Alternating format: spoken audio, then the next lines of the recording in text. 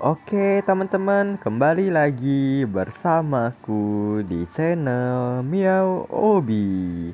Kali ini kita bakal review si Elysis S teman-teman ya Yang udah full soul imprint teman-teman. Di sini aku bakal langsung aja tunjukin ke party aja buat buildnya oke?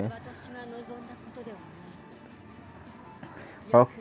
okay signifikan ini hero di sini aku tetap pakai indah setnya warna oranye aja lah. Eh warna hijau aja teman-teman ya. Karena kalau menurut aku ini hero lebih fokus ke boss saja sih. Contohnya void uh, bisa juga main di berkas layar gitu teman-temannya boss attack ataupun main dimensional boss ataupun WB gitu-gitu doang ya teman-teman. Contohnya kayak adventure PVP enggak kepake sih uh, kalau menurut aku nggak begitu OP banget jadi itu lebih fokusnya ke boss saja. Jadi jadi itu kita wajib pakai set warna hijau ya yang fokus damage itu teman-teman ya. Oke di sini kita bakal langsung aja teman-teman review buat buildnya. Di sini aku pakaiin set warna hijau dan full cooldown reduction teman-teman ya. Oke gitu aja. Lalu full physical attack juga teman-teman. Dan batu warna biru kalian wajib ambilnya itu uh, basic attack damage increase teman-teman ya karena uh, ini hero tuh uh, dari default damage-nya yang video kemarin itu yang aku review Chaser 20 sama body core-nya lebih uh, lebih ke increase ke basic attack teman-teman ya. Jadi itu aku ganti teman-teman ya ke basic attack oke. Okay? Lalu yang ini aku juga pakein solaring Oke, okay, biar ada basic attack increase-nya juga. Terus yang ini juga sama, Charm Snackle sama Engrings Order teman-teman ya. Gitu aja. Oke, terus kita lanjutin buat threat hero-nya aku ambil critical chance, terus ada cooldown juga, ada basic attack speed increase, sama ada basic attack damage increase teman-teman ya di sini ya. Oke, gitu aja. Kita bakal lanjut lagi buat chasernya. Kayak gini aja aku ambil M4 power 5, terus POB 5, uh, ini connection in plus sama upgradean chasernya teman-teman ya. Oke, kayak gitu aja kita lanjutin buat soul imprintnya di opsi sebelah kirinya kayak gitu teman-teman. Opsi sebelah bawahnya kayak gitu dan opsi sebelah kanannya kayak gitu teman-teman ya. Oke kita lanjutin lagi buat Tresen dan Awakeningnya. Aku udah level 9 jadi aku ambilnya ke Unlimited Resource 2 sama Unlimited Resource 1 ya teman-teman ya kalau bisa kalau kalian ada tambahan levelnya lagi kalian ambil ini sih unlimited power teman supaya ada increase basic attacknya lagi teman-teman ya. Oke. Kita lanjutin lagi ada apa lagi? Uh, bar skillnya memang nggak ada ya teman-teman. Memang udah kayak gitu aja karena mirip-mirip hero T lah si Elysis S ini. Oke di sini kita bakal langsung aja uh, kita bakal attack uh, Mercuria dulu deh ya teman-teman ya dari sebelumnya itu kan kita selesai hampir 3 menit teman-teman ya. Aku mau lihat aja teman-teman di sini performanya apakah lebih bagus gitu. Oke, kita bakal lihat ya teman-teman ya. Sama-sama aja kita lihat. Uh, mungkin ini aku ganti aja deh teman-teman uh, buat ininya late aja lah ya teman-teman. Jangan kanavante oke mana ya? Lay lay lay lay late aku mana sih? Uh, oh ini teman-teman. Kita duetin sama ini aja teman-teman ya. Ini sama kanavan sekalian. Oke kita petnya ganti dulu ya mungkin ya.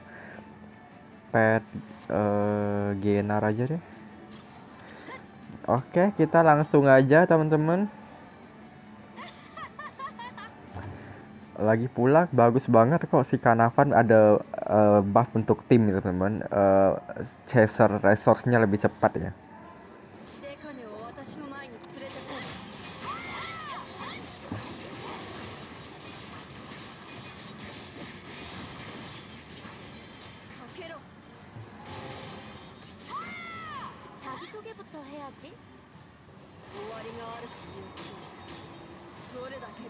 れているか。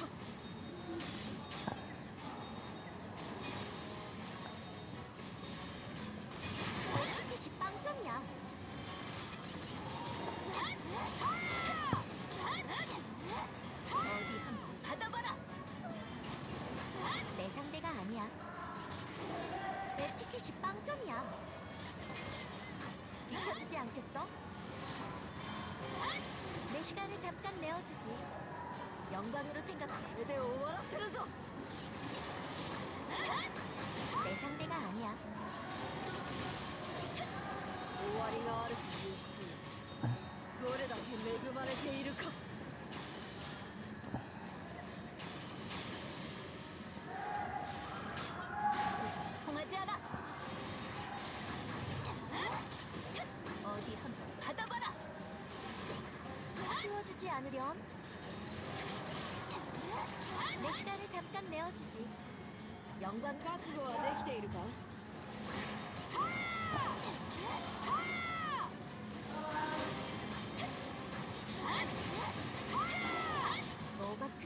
같은 게 내 앞에?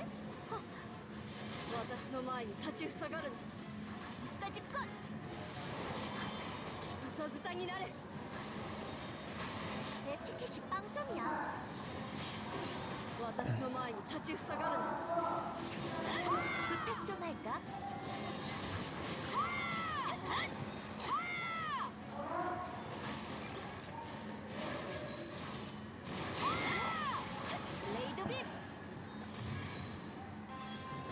Oke, kita bakal lihat di sini performanya ya ada peningkatan lah teman-teman ya. Eh, setidaknya tapi kalau menurut aku teman-teman ya, eh, walaupun ini hero udah full soul imprint, tapi kalau dia nggak dalam mode soul imprint, damage-nya eh, nggak begitu terasa teman-teman.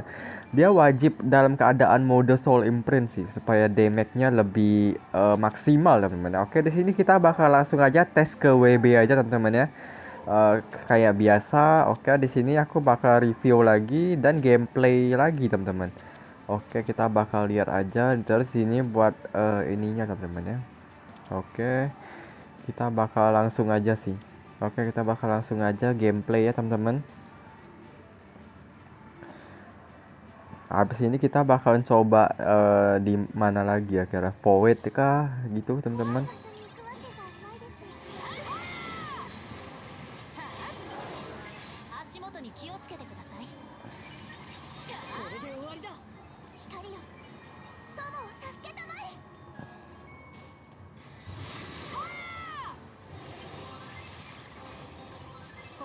ージあなたの負けです。これで終わらせるぞ。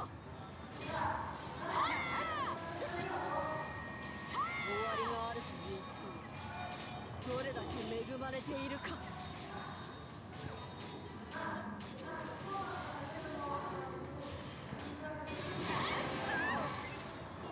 見逃すと思うか。コンボは穏やかなリズムで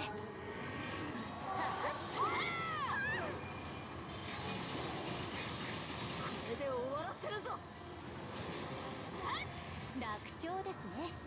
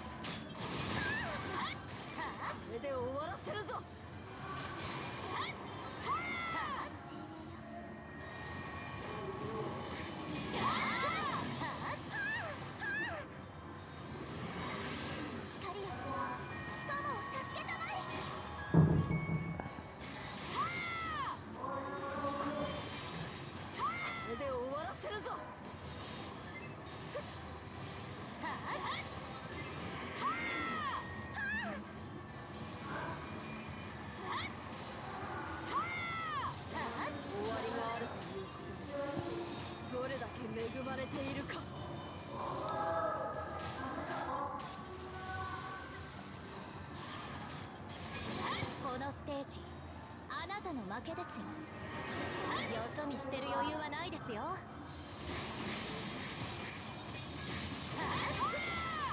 その程度の実力で挑んでくるとは。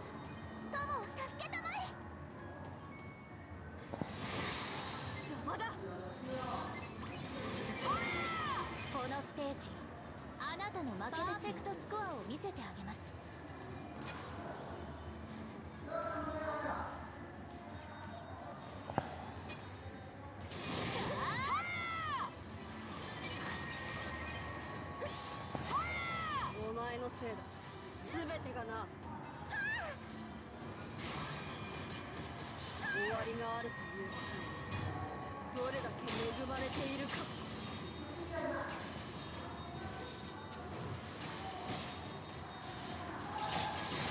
これで終わらせるぞ。このステージあなたの負けですよ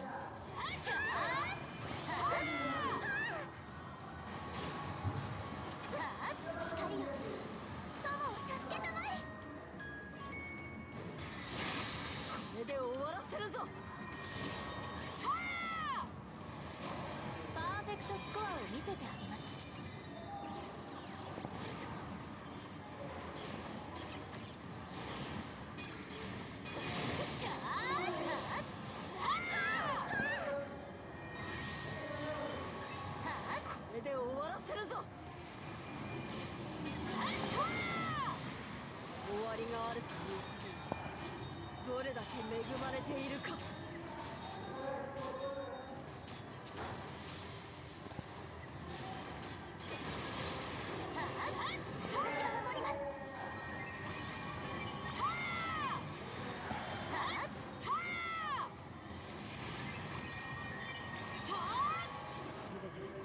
私が守り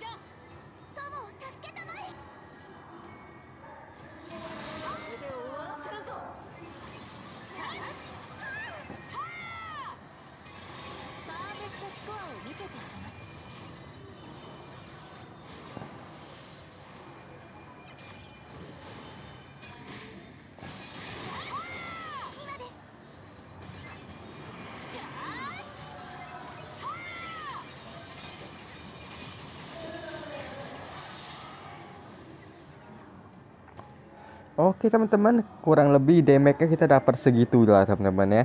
Eh, 103M di sini kita bisa lihat eh, performa Elysis S lebih bagus sih teman-teman ya. Daripada si Maiden teman-teman di sini oke lah ya kalau menurut aku. Eh, lumayan banget lah ya kalau di sini di fase 2 WB kita bakalan eh, coba lanjut lagi teman-teman ya Eh, kita bakal coba main di mana lagi? Mungkin kita bakal coba main di void ya teman-teman. Di void enggak sih? Tapi kalau kita main di void riduk kena riduk gak sih guys? Kita coba lihat di sini. Oh iya riduk physical defense dong ya.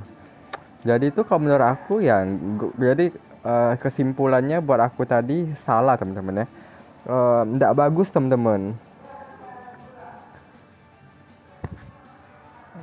nggak bagus ya teman-teman ya di sini kalau kalian mau main di void pakai Elysis S karena kena riduk 80% ya. Physical defense-nya jadi itu ya skip aja lah ya. Terus kalau contohnya kalian main di mana lagi? Di sini mungkin aku coba tunjukin kalau main di Adventure aja kira-kira bagus nggak bang? Oke kita bakal coba aja lah ya. Oke aku bakal liatin. Mungkin kita lawan Edel ya teman-teman Eh, lawan Edel aja jangan bawa Kanavan deh teman-teman. Kita bawa siapa ya kira-kira? Em, bawa siapa ya? Aku bingung bingung teman-teman. Hmm, tanknya mungkin kita bawa tank zero ya dari teman-teman ah. Zero kita bawa Leyte eh damager solo yang ini aja si Elysis teman-teman. Kak aku juga soalnya aku pengen lihat performanya sih. Hmm, bagus nggak kira-kira? Oke terus petnya kita bawa pet ini aja lah ya. Eh siapa ya? Aku bingung teman-teman. Jinte aja lah ya petnya mana ya Jinte ini ya Oke, kita bakalan coba gameplay kalau di Adventure kira-kira bagus apa enggak. Tapi kalau menurut aku sih nggak begitu cocok ya teman-teman kayaknya. Tapi nggak apa-apa, kita coba aja.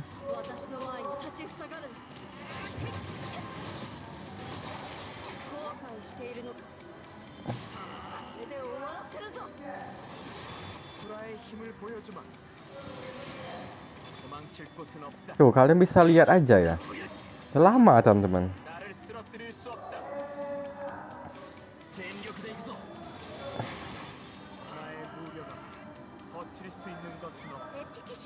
Oh, lama apa bagus sih? Aku bingung juga. Tapi kayaknya lumayan deh ya. Salah sih aku teman-teman.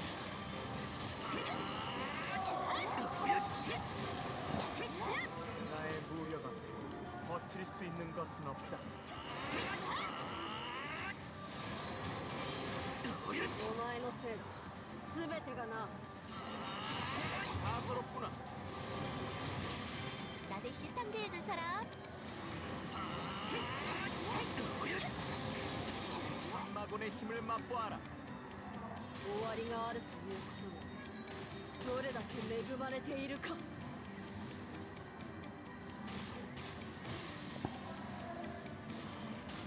누구도 나를 쓰러뜨릴 수 없다. 내 시간을 잠깐 내어주지. 영광으로 비켜주지 않겠어? 부탁 좀 할까?